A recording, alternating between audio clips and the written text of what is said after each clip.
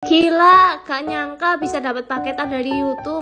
Aku mau sharing dikit nih pengalamanku selama ini. Aku tuh terjun dalam bidang kue ini tuh udah dari tahun 2013 loh, 10 tahun. Udah lama banget ya. Awal mula aku terjun ke dunia kue ini nggak direncanain sama sekali loh, iseng-iseng aja. Dulu pertama kali aku bikin kue tuh susah banget lakunya. Laku sebulan 1-2 biji aja sudah seneng banget. Tapi aku nggak nyerah sampai situ. Karena aku juga hobi bikin hiasan-hiasan gini. Aku tuh latihan terus, belajar secara otodidak sampai bagus.